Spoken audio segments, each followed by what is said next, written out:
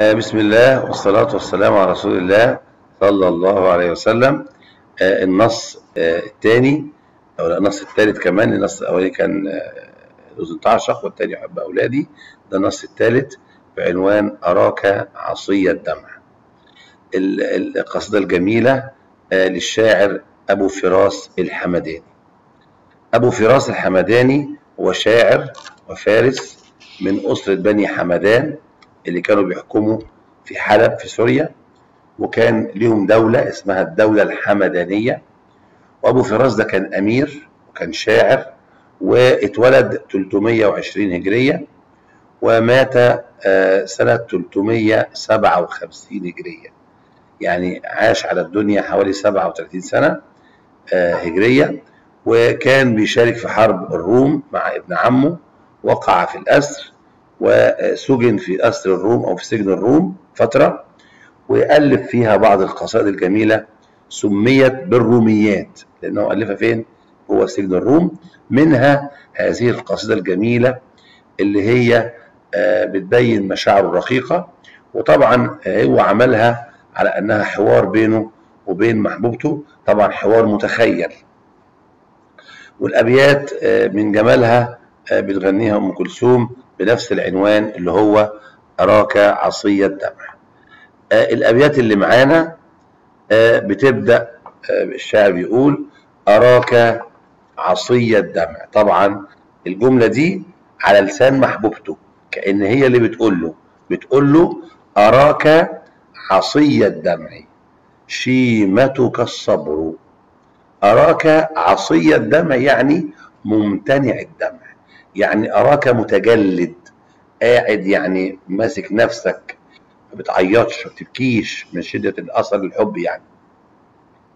وكان في الفترة ديت المحب عشان يبين حبه لمحبوبته يبكي ويعني يتأثر أشد الأثر يعني. أراك عصي الدمع شيمتك الصبر خلقك الصبر. أما للهوى نهي عليك ولا أمر؟ يعني أليس للحب سلطان عليك؟ أمر عليك ولا نهي؟ طبعا أراك ده فعل مضارع بيفيد التجدد الاستمرار واستحضار الصورة. أراك عصي الدمع استعارة مكنية شبه الدمع بإنسان يعصى. سر الجمال تشخيص أراك عصي الدمع شيمتك الصبر. أما للهوى أسلوب إنشائي نوع استفهام للاستنكار والتعجب. أما للهوى نهي عليك ولا أمر. نهي وأمر بينهما طباق يوضح المعنى. للهوى نهي استعارة مكنية. للهوى أمر استعارة مكنية. يعني البيت الأول في ثلاث استعارات مكنية عصية الدمع للهوى نهي للهوى أمر. البيت الأول في أسلوب خبري وأسلوب إنشائي. الخبري أراك عصي الدمع شيمتك الصبر الإنشائي أما للهوى نهي عليك ولا أمر. آه، اختلاف الأساليب يثير الذهن ويجذب الانتباه. صبر وأمر بينهما تصريع يعطي درسا موسيقيا طبعا التصريع اتفاق نهاية الشطر الأول اللي هو الري مع نهاية الشطر الثاني هو برضه إيه؟ الري. أراك عصي الدمع شيمتك الصبر أما للهوى نهي عليك ولا أمر. رد عليها بقى هو قال لها إيه؟ بلى. أنا مشتاق وعندي لوعة ولكن مثلي لا يذاع له سر رد عليها قال لها بلى. بلى دي إجابة الاستفهام المنفي. أو تقول له أما للهوى فالإثبات إيه؟ بلى. الإثبات بلى. لما أقول ألم تسافر؟ الإثبات إيه؟ بلى سافرت. طب النفي؟ نعم ما سافرت. يبقى الإثبات هنا بتقول إيه؟ بلى. هو بيثبت إن الحب عليه فقال إيه؟ بلى. أنا مشتاق. بلى أنا مشتاق. مش كده بس؟ وعندي لوعة. الجملتين بنفس المعنى. أنا مشتاق وعندي لوعة. بينهما إطناب بالترادف. بيكرر المعنى ليؤكد شدة حب. بلى أنا مشتاق وعندي لوعة. يعني إيه عندي لوعة؟ عندي هم وحزن من الحب. ولكن مثلي لا يذاع له سر. مثلي من هو في مكانتي أمير وله وضع في في المجتمع لا يذاع له سر. ما ينفعش أنا اذيع الأسرار بتاعته ومحدش يقدر يذيع هذه الأسرار. بلى أنا مشتاق وعندي لوعة ولكن مثلي لا يذاع له سر إذا الليل أضواني إذا الليل شملني إذا الليل أحاطني. بسطت يد الهوى مددت يد الهوى يد الحب. وأزللت دمعا من خلائقه الكبر. إذا الليل أضواني بسطت يد الهوى كأن الهوى له يد تبسط. استعارة مكنية. إذا الليل أضواني بسطت يد الهوى. وأذللت دمعا. أذللت يعني إيه؟ كأن الدمع الذي كان متكبرا جعلته ذليلا. أذللت دمعا. استعارة مكنية. من خلائقه من طباعه الكبر. عندي هنا طباق بين أذللت والكبر. إذا الليل أضواني بسطت يد الهوى وأذللت دمعا من خلائقه الكبر. تكاد تضيء النار بين جوانحي. إذا هي أزكتها الصبابة والفكر. تكاد من أفعال المقاربة تكاد تضيء النار. النار الشوق. تضيء النار. النار هنا معناها الشوق. تكاد تضيء النار بين جوانحي بين ضلوعي. النار قلنا الشوق. استعارة تصريحية شبه الشوق بالنار. وحذف المشبه وصرح بالمشبه به. تكاد تضيء النار بين جوانحي. إذا هي أزكتها إذا هي أشعلتها. مين اللي هتشعل النار؟ الصبابة والفكر. الصبابة الشوق الشديد والفكر في من أحب. تكاد تضيء النار بين جوانحي. استعاضة تصريحية في كلمة النار. شبه الشوق بالنار. حذف المشبه صرح مشبه به. سر الجمال التجسيم تكاد تضيء النار بين جوانحي. إذا هي أزكتها إذا هي أشعلتها. الصبابة والفكر. أزكتها الصبابة. أشعلتها الصبابة. يعني أشعلت الصبابة النار.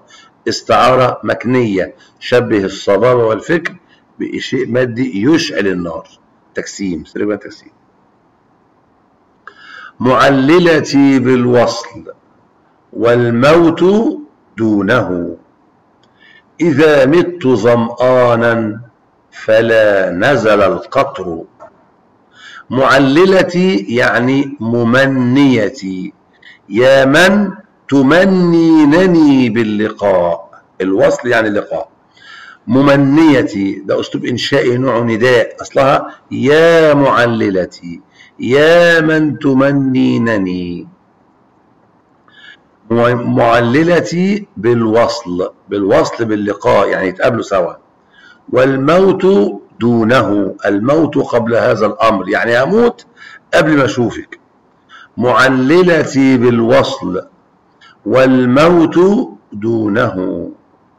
إذا مت ظمآنا عطشانا فلا نزل القطر. يعني يا رب المطر ما ينزلش. طيب. أول حاجة معللتي بالوصل والموت دونه إذا مت ظمآنا. هو هيموت ظمآنا ولا مشتاقا؟ مشتاقا. يبقى شبه الشوق بالظمأ. إصابة أدي واحدة. الثانية ظمآنا دي ممنوعة من الصرف. لأنها صفة على وزن فعلان. يعني الصرف يعني التنوين. يعني ما ينفعش أقول ظمآنا. ظمآنا دي تخالف النحو لأنها ممنوعة من الصرف وصرفت يعني نونت. لكن يجوز للوزن الشعري إن الشاعر يصرف الممنوع من الصرف. طيب. إذا مت ظمآنا فلا نزل القطر أسلوب خبر لفظا انشائي معا ولكن هذا البيت يعاب على الشاعر لأن فيه أنانية. مش معنى إن أنت إذا لم ترى محبوبتك تدعو على الناس جميعا ألا يروا محبوبيهم؟ فهذا إيه؟ أنانية لا تعاب على الشاعر. طيب. البيت كله تشبيه ضمني. إذا مت ظمآنا كأن شبه حالة أنه لا يرى محبوبته فلا ينزل القطر بحال الظمآن الذي لا ينزل إيه؟ المطر فيه. آه وفيت وفي بعض الوفاء مزلة أنا كنت وفي جدا ليها في كل شيء. وفيت وفي بعض الوفاء مزلة في بعض الوفاء دي جملة إطناب للاحتراز. ليس كل الوفاء مزلة ولكن في بعض الوفاء مزلة وفيت وهنا ما حددش المفعول به. ما قالش وفيت بإيه؟ اللي بين الشمول والعموم يعني كان موافق معاها في كل شيء. وفيت وفي بعض الوفاء مذلة لآنسة. لم يذكر اسمها. طبعا ده شاعر من شعر الغزل العفيف ما يذكرش اسم حبوبته لآنسة في الحي في المكان بتاعي. شيمتها يعني طبعها الغدر. شيمتها الإيه؟ طبعها الغدر. تسائلني من أنت؟ قالني يعني طبعا لأن هو لما حبها فحاله تدهور فأصبح نحيف أصبح لا يهتم بنفسه فشكله اتغير فكأنها مش عارفاه. وبرضه ده ليه؟ لبيان الدلال والاعجاب بالنفس يعني. تسائلني من أنت؟ بتسألني أنت مين؟ طبعا ده إز إز ده إنشائي أسلوب إنشائي استفهام لإظهار الاستغراب والإيه والإيه والتجاهل. تسائلني من أنت. وهي عليمة. هي عارفاني كويس قوي وهل بفتى مثلي على حاله ذكره يعني هو في واحد زيي على كل هذا الحب لها أنكر ولا أعرف أكيد لأ. وهل بفتى مثلي على حاله نكره ده أسلوب إنشائي. نوع استفهام غرضه النفي. فقلت كما شاءت قلت اللي هي عايزاه. إيه اللي هي عايزاه؟ وشاء لها الهوى وللحب عايزه. وشاء لها الهوى استعارة مكنية. شبه له إنسان يشاء.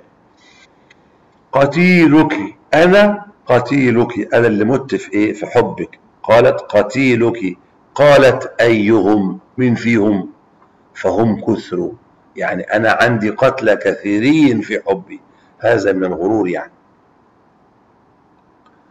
فقلت لها لو شئت لم تتعنتي. يعني لم تتشددي. ولم تسألي عني. وعندك بي خبر. انت عارفاني كويس.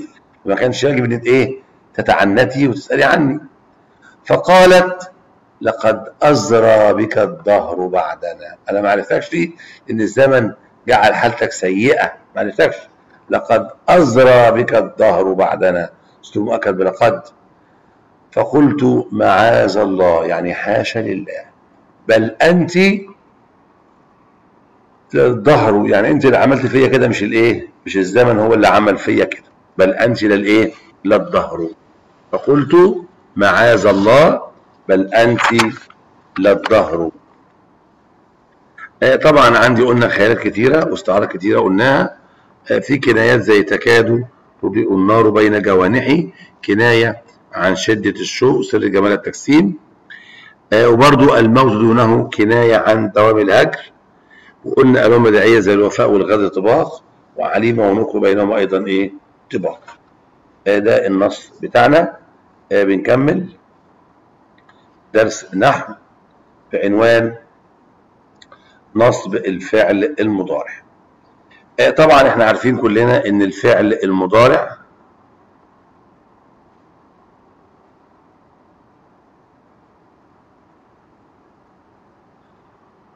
آه، الفعل المضارع آه، بيبدأ بحروف أنيته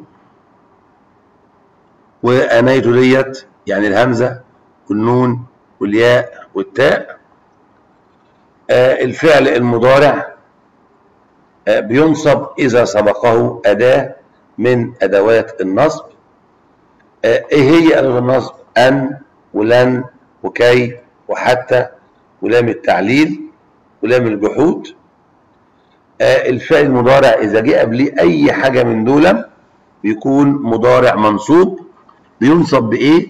بينصب بالفتحة الظاهرة إذا كان صحيح الآخر أو معتل الآخر بالواو والياء بينصب بالفتحة المقدرة إذا كان آخره ألف بينصب بحذف النون إذا كان من الأفعال الخمسة إيه هي الأفعال الخمسة؟ هي كل فعل مضارع اتصل بواو الجماعة ألف الاثنين ياء المخاطبة آه، أول مثال بيقول لي يريد الله أن يخفف عنكم. طبعا أن يخفف. وطبعا يخفف ديت لما أجي أعربها أقول عليها فعل مضارع منصوب بأن وعلامة نصبه الفتحة الظاهرة. آه، تصدق كي تعلو. تصدق إيه؟ كي إيه؟ كي تعلو. وطبعا آه، بقول إن تعلو دوت فعل مضارع منصوب بكي وعلامة نصبه الفتحة الظاهرة. وتختفي مضارع معطوف على المنصوب منصوب. منصوب بإيه؟ تختفي منصوب بالفتحة الظاهرة. نتزاور ليه؟ لتقوى روابط المودة بيننا. لتقوى اللام لام التعليل. وتقوى مضارع منصوب بلام التعليل وعلامة نصبه الفتحة المقدرة. لأنه آخره ألف خلي بالك خلي بالك. تقوى آخره ألف مكتوب منطوقة مكتوبة ياء اسمها ألف لينة آه نتزاور لتقوى روابط المودة بيننا. قال تعالى لن تنالوا البر حتى تنفقوا مما تحبون. طبعا لن تنالوا مضارع منصوب بلن. وعلامة نصبه حذف النون. حتى تنفقوا مضارع منصوب بحتى وعلامة نصبه حذف النون لأنه الأفعال الخمسة ما كان المهمل في عمله لينال رضا الله. طبعا ما كان لينال دي لام الجحود. نعرفها إزاي؟ تسبق بكون منفي. يجي قبلها كان منفية. بقول ما كان المهمل لينال. يبقى لينال مضارع منصوب بلام الجحود وعلامة نصبه الفتحة الظاهرة. الجملة الأخيرة لم يكن المقصر في أداء الواجب ليحقق. برضو لم يكن كون منفي أهوت يبقى ليحقق مضارع منصوب بلام الجحود وعلامة نصبه الفتحة الظاهرة. يبقى مضارع بينصب إذا سبقوا أن ولن وكي وحتى ولام الجحود ولام التعليل بينصب فتحة ظاهرة فتحة مقدرة حذف النون. لام الجحود بعرفها إزاي؟ بيجي قبلها كون منفي. ودي القاعدة بتاعتنا ودرس إن شاء الله جميل وبسيط جدا إن شاء الله رب العالمين. آه، ده بالنسبة للدرس بتاعنا وهنكمل إن شاء الله في الإيه الفيديوهات القادمة.